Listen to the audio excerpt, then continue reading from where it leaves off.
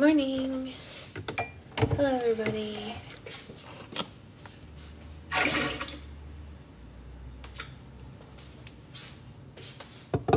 How's everyone doing?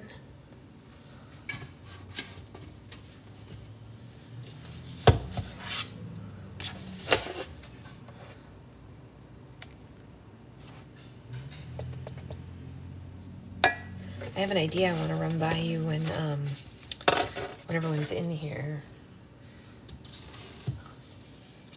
So let's wait for a lot more people to get in first before we do it.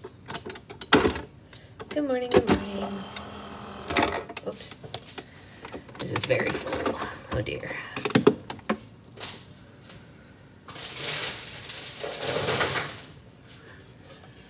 Morning.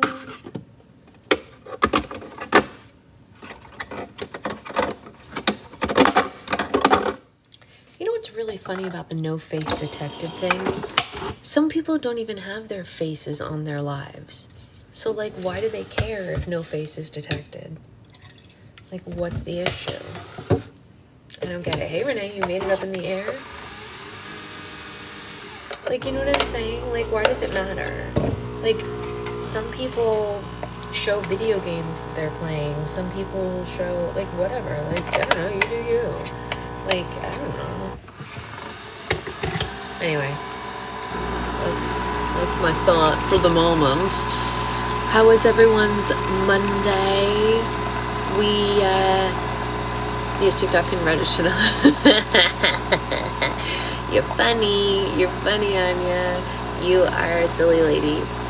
Um, so, to those of you who can't, um, well, okay, so yesterday we went to the, Monday was Monday, yeah, we went to see Iron Maiden last night. Well, that's certainly something, huh? That's a big one. Um, so, yesterday we went to the pumpkin patch with, uh, my sister and my mom and my niece and my nephew, which is great. I brought some slime to my niece because she had killed her old slime, which is fine. That's what happens, like in a good way. She's very good with it. And she needed a new one, so I brought her some new slimes. And I also brought my pregnant belly. Those were the things that she noticed, right? And then when she got home, she had her mom film her making a slime video. This is true where she said, and I quote, Hi everybody, we're to play with slime today.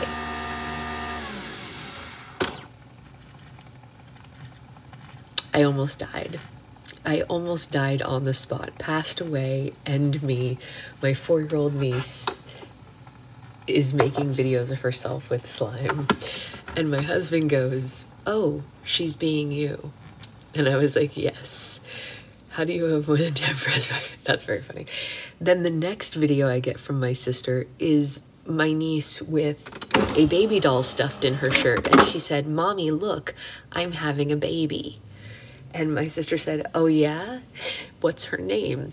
And my niece is naming her child Harper, which I think is great actually, because when I was her age, I don't think I was clever enough to come up with a name as good as Harper.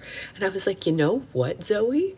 Name your child Harper. I support you. That's a great name. The problem is when my sister asked for further information about the baby, baby Harper is, I mean, it's a great name, Renee. I'm fully in support of it. Um, this baby that is in my four year old niece's belly, supposedly, is her brother's cousin. And my sister replied her and said, Well, I guess it's good to know we're Targaryens then, huh? Was like, What is happening over there? Oh, Amanda, I have to tell you. Oh, I'm sorry. I have to. Uh, Mina, Mina, Mina. Um, Mina, when you are here and focused, I have to tell you something um, that you're going to love. Oh, yes, Gigi. Oh, yes. Um, when Mina can hear me, I have to repeat part of this because she's gonna scream. Um, okay, Mina, I brought Zoe new slime yesterday, and the result of bringing Zoe new slime was that my sister sent me a video that Zoe asked her to film where Zoe is playing with her slime on camera and she says, Hi everybody, we're gonna play with slime today. And then plays with the slime on camera. I screamed. I screamed when I saw it. Mina, you would die.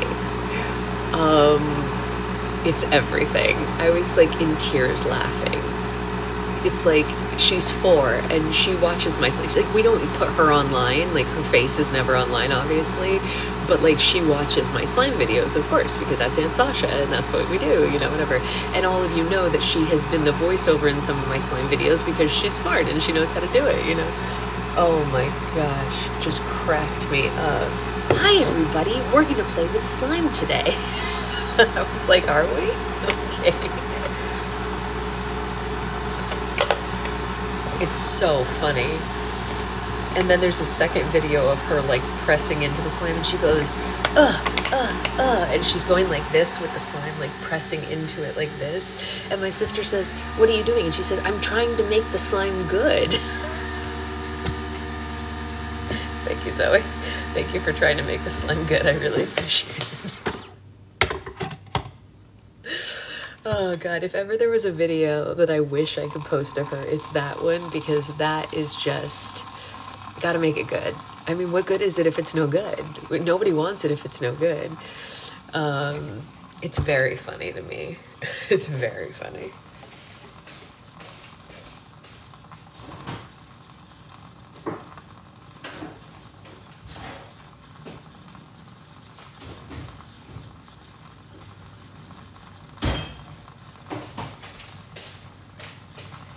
You know what I actually should do? Oh, for sure, Becca, for sure. It's the funniest picture. You guys, we have a picture of Ellie and Zoe at Disneyland, and they they were so cute together, but they could not be more different. It's so funny. But what I should do with the video of Zoe playing with slime is I should take the voiceover from it and I should lip sync to it and I should do like the motions like and in the background you just hear her voice going hey everybody it's time to play with slime but it's me on the camera so that you guys can hear how funny it is oh my gosh maybe i'll do that today it's so funny i'm trying to make it good okay I'll do that later. It's very her little voice is too cute. I mean, it's everything. Um, you know, we just don't show her face obviously for safety. Too cute. I mean, it's everything. Um, you know, we just don't show her face, obviously, for safety reasons. Um, obviously, for safety reasons. Um,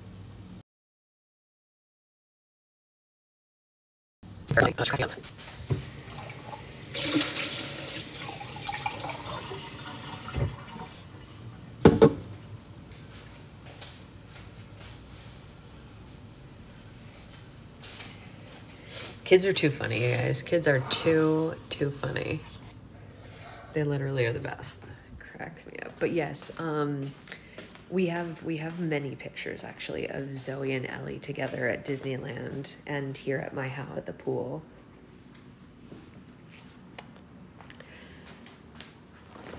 They had a sweet time playing with little Disney toys and everything. I do have an espresso, Danny. I we live for it. I don't think we could live without it in our home, if I'm being honest, Danny. Um, yeah, it, it's, it is maybe the most used item in our home.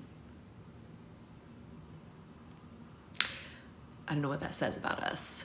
Um, Danny, last time, so with my Bessie daughter, Lexi, it was funny though. You know what I gotta tell you, Danny? And it, it's, this is what I'm gonna tell you last time we went to the Nespresso store to buy pods, they had started a new thing, which was that you could have monthly orders delivered to you and get a discount. And you know me, I'm a cheap butt, so I need a discount, right? And so I was like, oh, well, can I sign up for that here in person? And they were like, yeah. They were like, you just tell us what you want, you know, to be delivered to you every month. And I had just placed my order of what I was going to take home that day, which was, you know, a significant amount of pods. And I said, well, just all that stuff I just ordered. And the guy goes, oh, oh, so y'all be drinking a lot of coffee in your house. And I was like, what? And he was like, you're going to get all of these every month? I was like, well, there's two of us. He was like, two of you. I was like, oh no. like, I love the monthly ordering, but I did get shamed by the Nespresso guy for our consumption. I do consume less coffee since being pregnant, but we still go through a lot because I have been using some of the decaf pods to extend how much of it I can drink. Yeah, Judgy McJudgerson. So what I do in the morning sometimes, y'all, is I will use a half caffeinated pod in the morning so I can have a second cup in the afternoon. He did say slow it down, coffee girl. We do too, Danny. And like Secret Husband drinks even more of it than I do, especially now that I'm pregnant. And so like we go through a lot. You know, we work a lot. You got he that's what I'm saying, Sloth. I was like, bro, you just got a baller sign up on your record. Like, why are you being Judgy McJudgersons? You just look like you signed someone up for like 30 million pods a month. Yeah, when the baby comes, we're gonna be drinking even more, it's for sure. Um, but like Judgy Van holier than thou. Yeah, exactly. I was like, you work at a coffee store, sir. I need you to take several seats and stop judging my consumption. First of all, I don't eat sugar. I barely, I mean, like, I don't drink now that I'm pregnant, obviously, but even before I was pregnant, I hardly drink. I've never even put a cigarette in my mouth, let alone smoked anything. You leave my coffee alone, sir. Sir. The baby starts drinking coffee. Actually, we have a whole thing that we make for the kids in our family so it looks like they're um, drinking coffee with us so like I would have Zoe make coffee with me and we would um Oh yeah, that's true. That's true, Becca. Um oh, well sure, of course, Liz, that's different. But um we would like get different kinds of milks and all my superfood powders and we would make her her own coffee, you know. Whatever. It's it's milk and like cream, you know, whatever, but we would make her coffee. Um, it is very cute. I have the hiccups. I do. Um, I forgot to redecorate my Kindle this weekend. I was supposed to do that and I forgot, but maybe I'll get around to it today. Mailing a bunch of orders today, y'all. Oh, and by the by, don't go right now because we're about to start reading, but when this is over, if you're on Patreon, I did put up a poll this morning, questions about advent calendars, um, just an FYI. So, yeah that is the sitch. There we go. There we go. Candy cigarettes all the way. Did you ever get the candy cigars? No. Are they good? I emailed you about my exploding slime. Yes, you did. I saw it. I haven't opened it yet because I knew I couldn't mail anything. I always try with those things to leave them unopened until I can address it. And the post office wasn't open yesterday, so I'll mail it today, Sophie. Um, and it'll like go with all the. I'll I'll have it with all the other stuff. I did that before book club. Oh, hey, I wanted to ask you all a question and like kind of, you started a Krampus retelling. Oh, interesting. I put my two cents in the poll before. Great, thank you, Gigi. Um, so I have a question for you all. I just wanted to get like the temperature of how you all felt about this. What if we had a kind of book exchange, like a Secret Santa book exchange for book club for Christmas. Now, hear me out. I don't want anyone to have to spend money other than just ship the book. So I was thinking it would be a book you have in your home that you think the other person would like, and we would all like exchange books. If you don't have a book in your home you're willing to let go of, you could go to like a used bookstore or something and get one really cheap. But I thought it would be kind of cute if we just like had like a circle where everyone was just like sending a book to the other person that you hope that they haven't read okay, well, not Becca, but like we can send Becca a kid's book. It's fine. Her kids read. Um, but it would be kind of fun, right? I don't know. It seems kind of sweet. And like a lot of us have books lying around that either we would love to recommend to someone or whatever, whatever. Um, or maybe ones that weren't your cup of tea, but you know someone else in the group would like based on their interests. You know what I mean? Um, so that could be kind of interesting. Um, you know, it, it was just a thought. Maybe audiobook for Becca we so that could be kind of interesting. Um you know it, it was just a thought maybe audiobook for becca. It, we can ask So that's just something I was throwing out there. I don't want this to be like any anything where people have to spend money other than of course like I said, but the the shipping, but just so everyone knows when you're sending books um unless you hate them then send them the one hated. Yes of course. Well but here's the thing. There are some books that i don't like that people in the group like. You know what i mean? And that's the truth. Like i'm not a fourth wing fan so um it is hard to know what people have read already, so it would it would be a crapshoot a little bit, Renee. You're right about that. Yeah, media mail. So media mail is considerably cheaper and it works anytime you are sending books or magazines or anything like that. So definitely use that and it will cost you just a couple of bucks to mail the book. Um, Renee is right. We won't know what people have already read, so you're kind of doing a shot in the dark here, but it's it, it's still sweet and cute. I don't know. Uh, you don't have you don't like Fourth Wing and you like Oatmeal Raisin, we all have our flaws. It's true, we do all have our flaws. I don't like Fourth Wing and I do like Oatmeal Raisin. It's true. It is like blind date with a book. It's exactly like that except with friends, basically. Yeah. Um, so it's just a thought that I'm throwing around yeah, I'd be willing to take the chance. And look, here's the thing. If you get a book you've already read, it's a used book anyway, just donate it to a little library and someone else will get the joy out of it. You know what I mean? So like, it's still good. Um, it isn't even November and I might turn on the heat. You know, it's a little chilly here today too. It's true. I'm not turning on any heat, but yeah, I do think it would be kind of fun. Um, I'll probably try to like make a sign up form or something for that and then um, people can sign up and like put their genres in it and then each person will be assigned to somebody um, yada yada yada i remember that liz um, so anyway that was just an idea i was throwing out there it's kind of cute and fun um, and then we could like maybe open them all on a Zoom or something. I don't know. Uh, or, or everybody can make a video opening them. That actually might be even cuter, just like so that it doesn't mean that everyone has to be available at the same time. Um, we can all make videos opening our, our individual ones and you find out who, I don't know, whatever. Some people don't make videos, so we'll, we'll figure something out. Anyway, that's all. I just thought it was sweet. It's cutesy, very cutesy, very demure. Okay, so we are on chapter 17, y'all. We are definitely going to be done with this book. Um, Actually, we might read two chapters today because this chapter is only 18 minutes long and I read faster than the predicted time. So, um, um, Julia, let's check out if Media Mail still works for Canada. It might. It just might. Um, we'll find out, Julia. We'll figure it out. okay. So, chapter 17. Josh dreamed that he was being chased by the devil. The devil had a nasty little beard and glinting evil eyes, and he sent demons to torture Josh in the form of his ex girlfriend. Maya was dressed in some flimsy negligee and seduced him in a field and laughed at him when he begged her to stop. The devil locked him in a cellar where ghosts tormented him with their weeping. It sounded like the desperate cries of a baby. He saw. Jesus. I know, seriously. He saw a woman hanging by her neck from a tree and felt the noose close around his own throat and a prickling scratching sensation that choked and choked him. Josh, Josh, wake up. You're having a bad dream. He scrambled desperately at his throat. Josh! A light flicked on and Josh gasped back to life, flickering, flinching from the brightness for just a second. Are you all right? And Josh screamed and scrambled from the bed because there was a complete stranger stroking his arm and leaning over him naked, and her bare breasts were against his chest. Josh! The sheets tingled around his legs and he stumbled, crashing to the floor. Hey, who the F are you? Are you all right? You get away from me. He cast around desperately for a weapon, but for some reason, when furnishing his bedroom, he had neglected to place any baseball bats, sidearms, or planks with nails in them beside his bed. Outside, a sudden crackle of thunder made him scream again, and he grabbed at the nearest thing and threw it at her.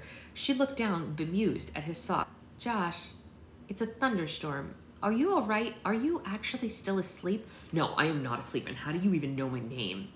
He scrambled away from her across the floor, horribly aware that he too was naked, and grabbed it close. I'm gonna call the police. The naked woman in his bed drew up short at that. Okay, wait, this isn't funny, she said. What's going on? You're asking me what's going on? He looked around. This was his room in Brick Manor, Brook Manor Farm with the bare, bare floorboards and the low windowsill and the rug that Sienna had bought for him. Holy shit, Sienna, the baby. Josh struggled to get his boxers on, a difficult feat while backing towards the door, and tried to remember what situation was with the phone line. His own phone was sitting on the bedside table, but he didn't go back for it, not with the naked stranger so close by. Maybe he should go into Sienna's room and get her phone, but he didn't want to draw attention to them. Josh, it's just me. It's it's Essie. Essie Winterscale. The name sounded so fake. Probably her English accent was fake too. Who? Thunder crashed again, and the lightning flashed across through the curtains. She was a total stranger. Nothing in her frankly unremarkable features was familiar to him at all, and she held the bedclothes up to her now as if she was suddenly realizing that she was naked in his bed and that that might be inappropriate. How did you get in here, and are you armed? No, of course I'm not armed. She looked worried now. I came in with you a few hours ago. Don't you remember we brought Sienna back with us? You stay away from Sienna. He edged toward the door. She raised her hands, or at least tried to, and the sheet began to slip. Don't you even think about it, said Josh, glaring at her, and he realized that he was trembling.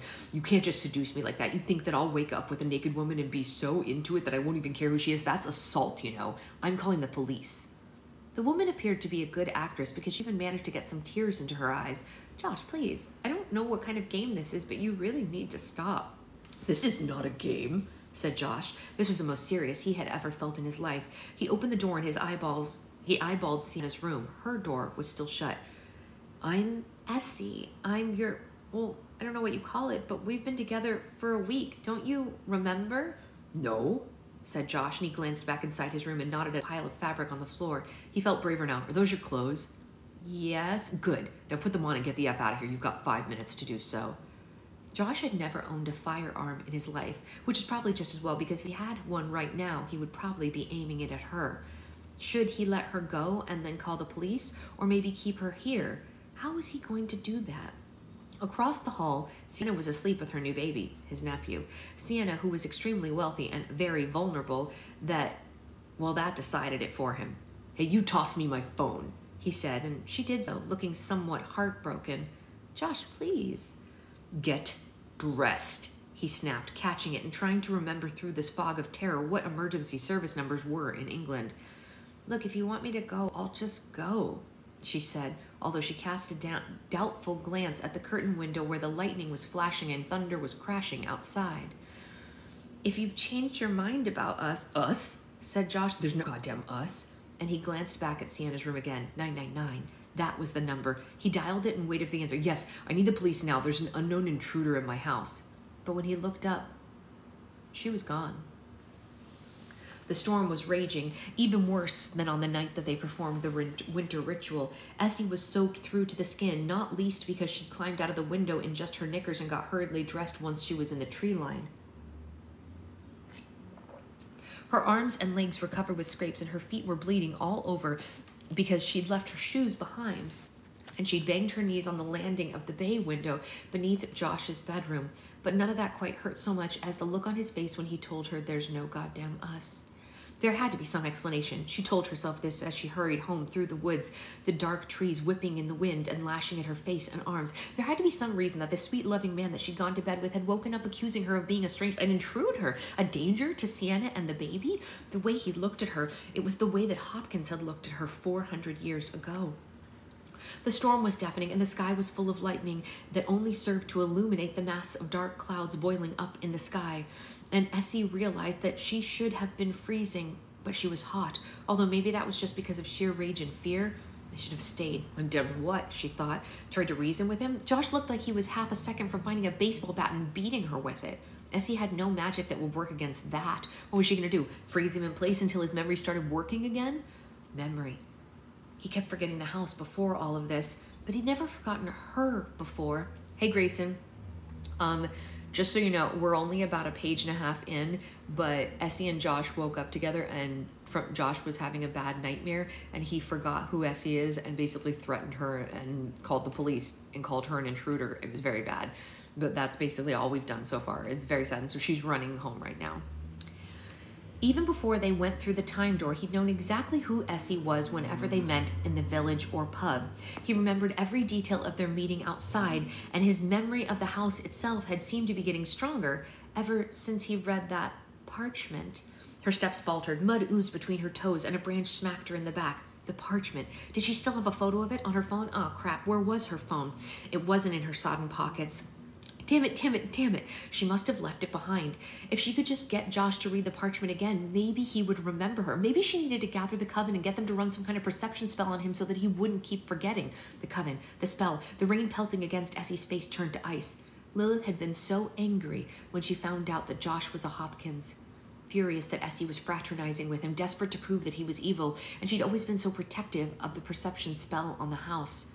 Mother, said Essie as the sky turned yellow and the rain froze in the air, what did you do? Snow should not have covered the ground soaked by the storm, but this snow did. The earth froze and the sky froze with it, and the snow came so thick and fast that it was impossible to move through it. Impossible for anyone but Essie, that was. She stalked through the woods, trees giving way to snowflakes sizzling on her skin. Her bare feet left melting footprints, pink with blood.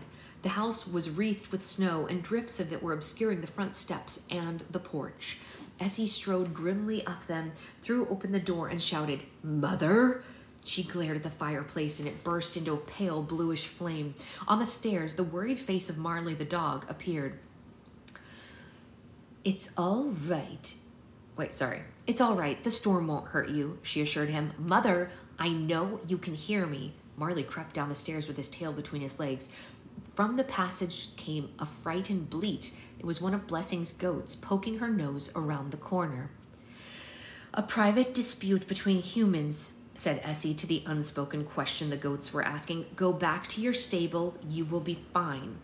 Tonkin and Bob wandered around her ankles, and their fur smeared against her wet jeans, and steam rose from Essie's skin. Lilith Winterscale, I command you to come down here at once. The house shook with the force of her voice, and Essie had never felt anger like this. From the corners of the house, Blessing, Avery, and Maud all appeared, and Prudence floated through the still open door. It be blowing a hooly out there, she observed as the snow swirled around her. Aye, it's freezing, said Avery. He was bearded and wore paisley pajamas.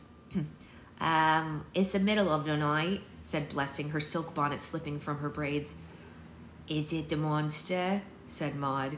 Essie strode toward the old woman who stood in a nightshirt, clutching the shawl around herself. In one hand, she held a candle and an old fashioned chamber stick. That, jo- that scarf that you gave Josh, she said, what was it made from? Um, Yorkshire wool, said Maud promptly, knitted on bamboo stitch and moss. It scratched his neck to nearly bleeding, as he said, and Maud was silent for a moment. Her milky eyes gave nothing away. Tis not but he who is him, she said. Listen, I don't have time for riddles, said Essie. It's scratching, not he, Maud said urgently, but him, the other one. Essie glanced at the others for help, but they just shrugged at her. She shoved up her sodden sleeves and stormed up the stairs. Mother, she shouted, if you have gone back through that bloody door, you coward. What did you call me? Lilith appeared in front of her painting, and Essie sometimes suspected it concealed the door to her bedroom, which she never visited, which in itself was kind of a strange thing. Essie trembled with rage. I said you're a coward. You disappeared through the door in the past instead of ever spending time in the present, your own present, my present. Lilith stood on the landing, more beautiful than anyone had a right to be in a nightdress, her hair bound with red ribbon. Well, it might be yours, but it isn't mine, she said. I can go where I can do the most good, Esabet. You were never neglected. I haven't seen you for years. You're a grown woman. A grown woman, Essie advanced on her mother, her bleeding feet all over the carpet, who just got kicked out of her boyfriend's bed because he thought she was a stranger. Furious tears burned her eyes, and Lilith calmly said, Oh, you know there's a perception spell on this house. Don't give me that. He knew perfectly well outside the house. You were there. You saw us. Lilith was silent for a moment, and Essie was aware that the others filled the staircase behind her. I merely strengthened the existing spell, Lilith said quietly. Bollocks, Essie spat. He forgot me completely and he called the police on me. He thought I was a, like a burglar or a, a someone who was going to hurt him. Horror slammed into her as she remembered what Josh had told her about his horrific ex, Maya, forcing himself on her in his sleep. No wonder he'd been so appalled. She just triggered a harrowing memory for him. Do you have any idea what you've done? She wept. He's a Hopkins, snapped Lilith. You shouldn't go anywhere near him anyway. What his family did to us hundreds of years ago, Mother. Get over it. It might be hundreds of years ago to you, said Lilith, but it was merely a week ago to me. And me, you stupid woman. I was there. I saw him. I bound him. The bounden be false, mumbled a voice from behind her. It was Maud's voice. Essie felt herself go still as terror spread through her body like concrete. What did you say? The bounden, tis false. Essie turned slowly and stared at the old woman. Him be bounden, not in ice, explained Maud, her gnarled fingers twisting together anxiously. I seen it. The ghost didn't be banished, and the monster swept away. Him did creepeth through the door. Essie's gaze flew to her mother, and Lilith looked as horrified as she was. Hopkins followed them then, she said. Back here. Aye, said Maud. Why didn't you say something sooner? Maud shrugged. I give it thee the scarf, she said as if it was obvious. Oh my god, said Essie. Are you telling me the scarf scratched Josh because ew, ew, are you telling me that Hopkins is is in Josh? Ugh, said Blessing. And you two have been, ugh, Avery began, and Essie felt suddenly sick. It couldn't possibly be. Every time Josh had touched her, kissed her, every time that he had been with her, god damn it, that was Hopkins. Hot tears froze on her skin.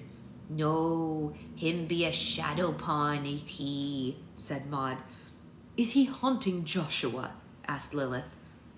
The word be as good as any other, I thought you could feel Hopkins, accused Essie, turning to her mother. You said you always knew when he was there.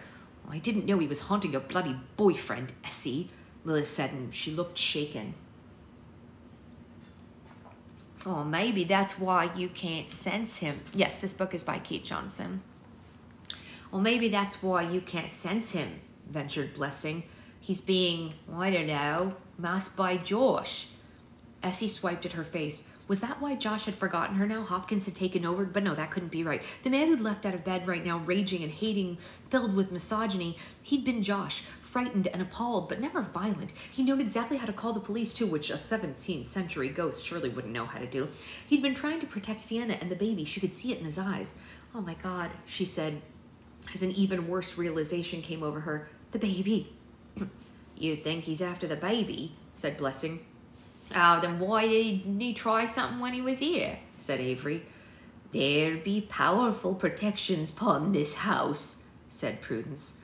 And we would have noticed it, said Essie. I would have noticed it. There was a small diplomatic pause. What, uh, in all the time you spent fully dressed and discussing the topics of the day, then you would have noticed it, said Blessing. as Essie felt her face burn. It's been all I could do to keep the floorboards from bursting into a leaf, Blessing muttered. We get it. You can have the big O now. Oh my God, Essie muttered. Ah, yeah, you didn't have to be so vocal about it, said Avery. If we could kindly move on, said Lilith, and Essie looked at her mother with something like gratitude for what might have been the first time in her life. Do you think Hopkins is actually going after the baby? Oh, it is logical, said Avery. Look at the facts. Same day Sienna arrived in Goodwinter was the same day Lilith told us that Hopkins was waking early. Which was also the same day that Josh first came here, Essie pointed out. Yeah, but only to Bedlam House. He'd been in the village a week or so already, right? And the day that you did the ritual was the day she went into labor, Blessing added. And the following day, he followed us back through the door, and that was the day that the baby was born, agreed Essie. But why hasn't he come back today? It's been a week. Um, maybe because Sienna took the baby away from the house's protections, suggested Lilith. Mayhaps she named him, said Prudence. She said she hadn't decided on a name, Essie said. The book didn't seem to like that when I asked it. Essie felt, actually, very much felt, every eye come to rest on her. What book? said Lilith. Chapter 18. The wind screamed in what seemed to be a constant howl, the thunder beneath it growling a bass note. Snow flew at the house from every direction, lighting up terrifying shades as lightning flashed and crackled. Hopefully, the newborn baby, excuse me, helpfully, the newborn baby in Sienna's arms joined the cacophony, which made it rather hard for Josh to hear the police on the phone, especially given the interference on the line. Um, no, I really don't know how she got into the house, he shouted. All the doors and windows were locked. Do you have a camera somewhere? Anywhere? No, we don't have security cameras, said Josh. He frowned at Sienna and tried to move away from the baby's fretful screams, but she followed him through the downstairs rooms. They're, they're coming to install them next week. He checked all the doors, including the ones to the cellar and the attic, and they were all securely locked. The windows were latched shut and the curtains were undisturbed. He found nothing broken or missing, but there had been an extra phone lying on his bedside, and Josh wondered what kind of idiot home invader this was. Josh, Sienna began, outside the village, what seems to. It's no store. Are you sure? Gone. Yes, Josh said grimly. I tried looking through her cell phone for any clues, but it's locked. Well, we. GP hold of. Josh, where is she? persisted Sienna. The kitchen door rattled as a blast of snow hit it. She's gone, he told her. We're safe. I'm sorry, officer. My sister's just anxious. She has a newborn baby. I'm sure you can understand that. Cool. We'll keep try. I'm not anxious, snapped Sienna. I'm worried. Josh, listen to me because this is important. Excuse me a moment. He held the phone away from his ears. What? Sienna, look, I know you're scared, but I'm scared. Yeah, that's a better word. I'm scared of you right now. He blinked at her. Nobody had ever been scared of Josh in his life. Your girlfriend's missing, Sienna said slowly and deliberately, and you don't really seem to care about that. What? He went cold at the thought of Maya could have found him. I don't have a. Whatever you two are calling yourselves, you can't spend the week in bed with her and then literally. You can't even look at anyone else. Oh my god, she's gone mad. Maybe this was some kind of postnatal psychosis. And now you're telling me there was a strange woman in your bed. Josh, don't interrupt me. She was here last night and she's gone now. No one was here except for you and me and the baby. His heart was still pounding at the idea that anything could have happened to the baby, even if its screams were currently making it impossible for him to think. She was here. We ate Chinese food. Don't you remember? She had never heard of General Tso's chicken and she ate the whole bag of those prawn cracker thingies. Look. Sienna shifted the baby from one arm to the other and wrenched open the fridge. There were piles of plastic cartons in there. Look, the uh, that, the crispy quarter duck. I didn't order it. You didn't order it. They make the pancakes differently here, said Josh, reluctantly moving. Right, you kept saying that. And then the wine glasses. Look. He glanced over the sink where two wine glasses stood waiting to be washed. So? Sienna gestured madly at the baby. Um, hello, I'm not drinking, am I? Essie was here last night. She was. Her toothbrush is probably still in the bathroom. He shook his head. No, no, no, no. That's not right. Nobody had been here but him and Sienna. She must have been drinking juice or something from a wine glass. He ordered some new food for a change. How was he supposed to remember every detail with babies screaming like that in his mind? So, Josh glanced at the phone in his hand. Yeah, I'm sorry. My sister's making up some weird shit right now. I'm not making up anything right now. I'm going to go upstairs and look in your bathroom right now. Josh sprinted after her. Sienna deliberately blocked him from getting past her and stood in the doorway of the bathroom and said, Look, two toothbrushes. Josh stared at them. The bathroom was only half finished, and he'd been using a coffee mug to keep his toothbrush and toothpaste in, and now there was another toothbrush beside it. And, Sienna said, marching over to the bin, given the noise you two were making last night, yeah, if there was no one else here last night, please tell me why there's a wrapper in the trash can. The bathroom window rattled, lighting up with snow. Sir, did you say that someone was there with you last night? asked the voice on the phone, and Josh began to wonder what was going on because he felt mad. No, no, there can't. I am not looking for the used one. You can get the goddamn forensics here if you want to. Sienna looked furious. He'd woken her up to tell her that the police were on their way because of an intruder, and now she was telling him, but wait a second, that couldn't be right. How could he not know that he had brought a woman home? Was this some kind of prank? Had she gotten a friend to pretend to do all of this? But Sienna didn't have any friends in this country unless she'd been lying about that, but why would she lie about that? I don't know. Josh said bleakly into the phone. I, I actually don't know what's happening.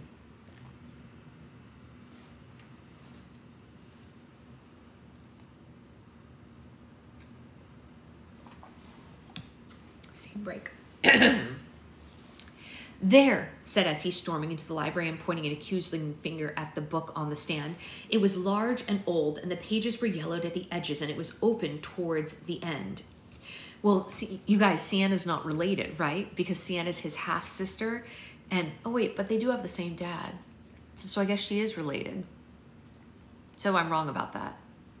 Oh. Well, then I don't know. Weird. The others crowded in behind her, and Lilith said, I've never seen that book before in my life. That's because you're never bloody here, Essie snapped and strode over and glared at the pages. Here, look, Edward Mason Hopkins. By his first wife, a son, Joshua. By his second wife, a daughter, Sienna. To Sienna, a son, Matthew Edwards Hopkins. Her voice trailed to nothing halfway through the name. The words seemed to glow on the page, and Essie thought she could smell something burning. What did you say? Whispered her mother, sweeping up beside her. Uh-oh, she called the baby Matthew, said Blessing behind her. Essie stared hard at the page as if she would will the words to change, but there they were, written in faded ink as if they had always been there. Matthew Edward Hopkins, born 29th of October 2022, father unknown. Tis the monster, gasped Maud. There was a sudden fury of movement as she slipped onto the ground and the others rushed to help her. Maud, did you see this coming? Blessing eased her back against the bookshelf, and Avery found a cushion for her. Maud's milky eyes flickered. The monsterin over and over in the yard. The monsterin so many. Her fingers moved as if she was feeling a pattern in the wool that wasn't even there. And Essie realized that something had made her shiver, for the first time that she could ever remember, Maud wasn't knitting. Maud, she said, kneeling beside the oldest member of the coven, where's your knitting? Her fingers moved helplessly. Tis ended, she whispered. The witches looked at each other in horror. Prudence, go and fetch it, Essie said. What did Maud mean that it had ended? The knitting or the, the future? Maud knitted the future. None of them knew if that meant that she saw it or created it. Essie wasn't even sure if Maud herself knew. Ah, uh, you mean every piece you were knitting is ended? Avery said as if trying to convince themselves. All of it, said Maud. Her breathing seemed shallow. The future has stopped. The words reached inside Essie and twisted her stomach. She glanced at the others. Even her mother looked horrified. There be no knitting, said Prudence, flying back through the door. There be a pot of needles all neat and a basket of yarn, but the knitting, there be not any. Maud had been there as long as Essie could remember, as long as any of them could remember, and she was old for sure, but she couldn't be dying. She couldn't be dying, could she? The old woman slumped back against the pillow, supported on either side by Blessing and Avery, and Blessing had her fingers on Maud's wrist, Essie had never seen her look so worried. Go, go and bring us something, she commanded, and there were tears in her eyes. Some needles, some yarn, quick, Prudence. I don't, Prudence began, and Lilith snapped at her. Quickly, child. Child, Essie muttered when Prudence had gone. Mother, she's 300 years older than you. She's technically younger than you, said Lilith. Technicality, said Essie. Maud, open your eyes. Will you please open your eyes? Maud sighed. It's a bit, she said, her eyes still closed. I cannot tell ye what will come, only what may. Fate intertwined, did not I tell ye? Essie groaned.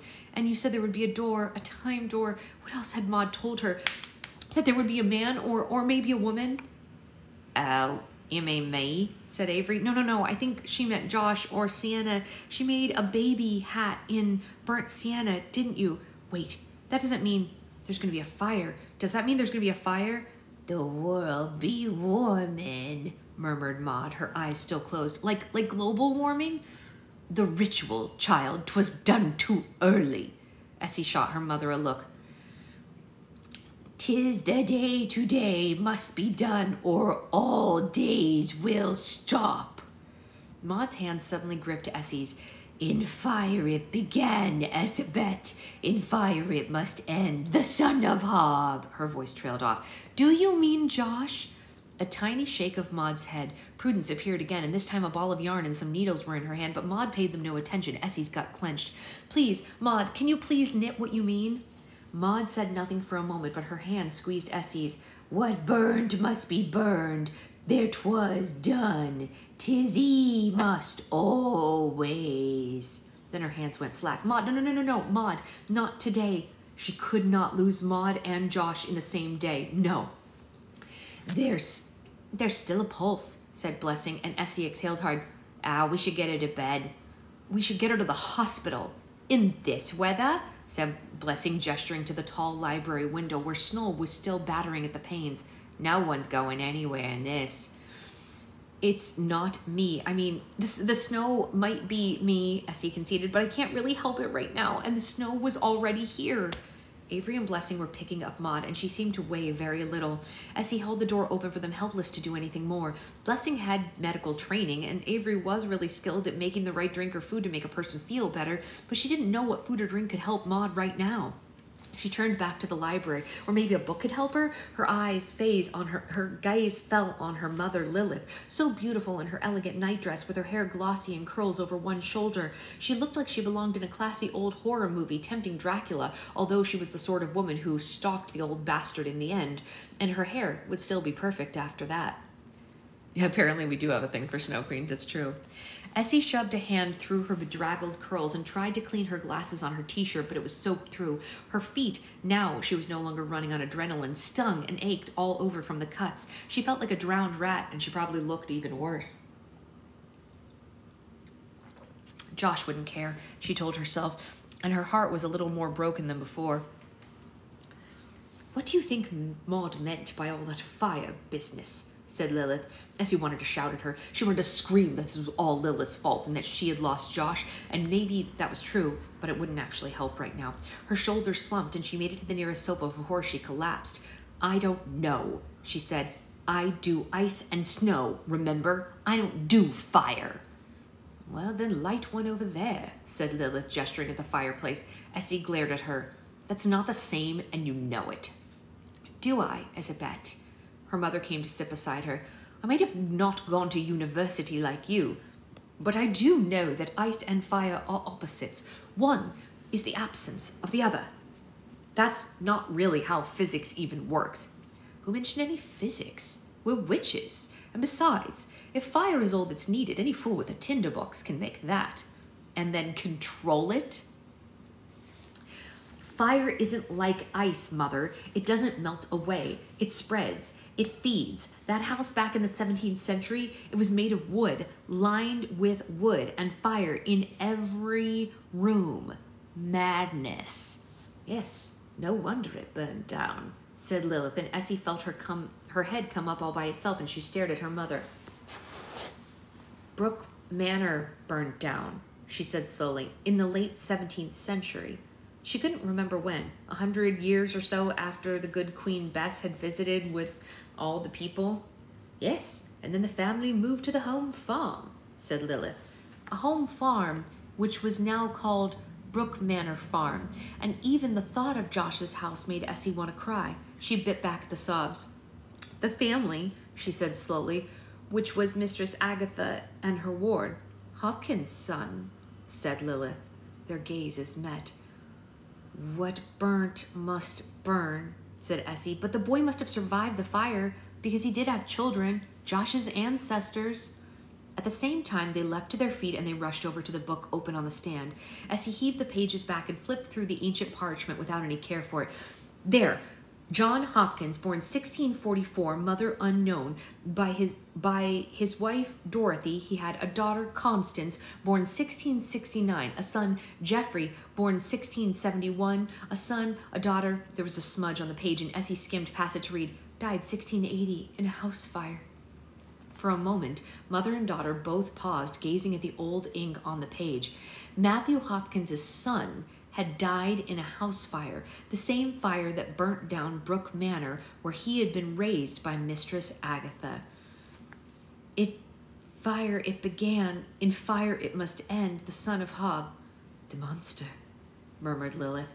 The monster you never told me about, Essie reminded her bloody winter ritual. You let me think it was all about snow and white Christmases and frickin' winter wonderlands.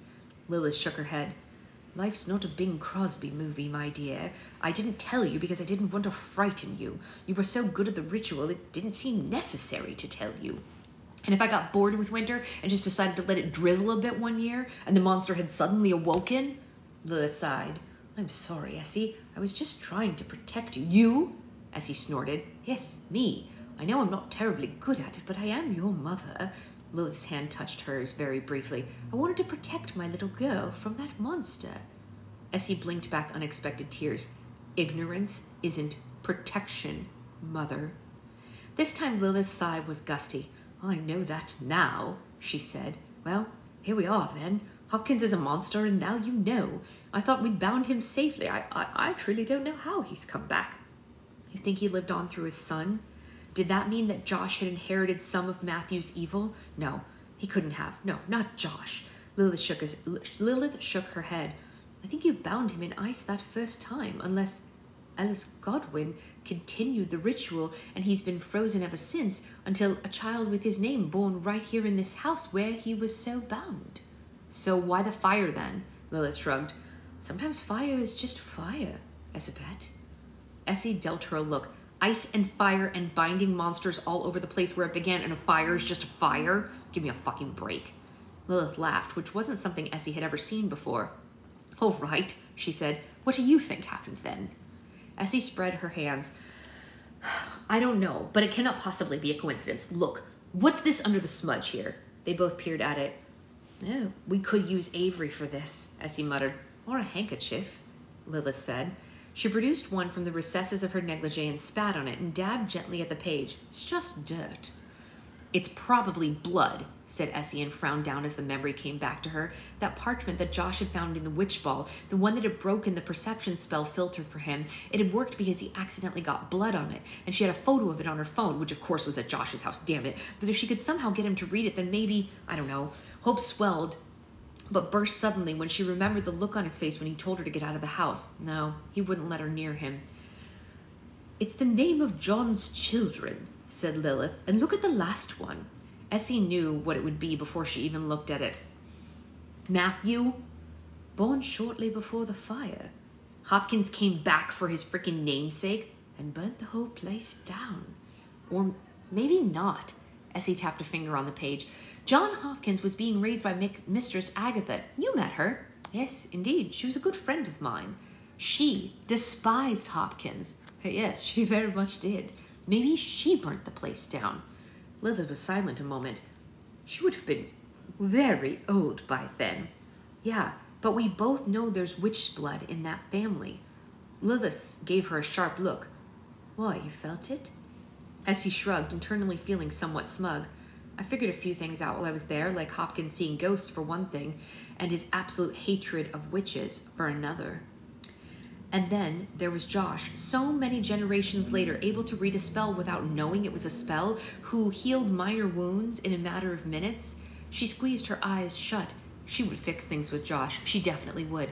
But first, she had to stop the world from ending. Damn.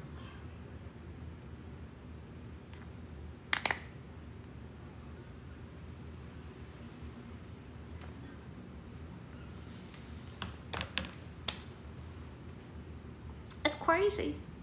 There's a lot going on. It's hard to keep up.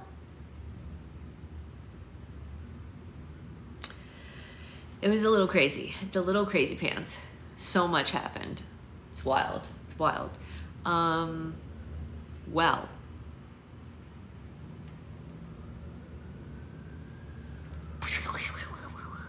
Yes, brain malfunctions. Um, we will probably be done with this book by Thursday. I know, right? It's really hard. Yeah, that's why it's it's good that it's recorded, so we can always go back and listen to it later. Um, but there's a lot going on.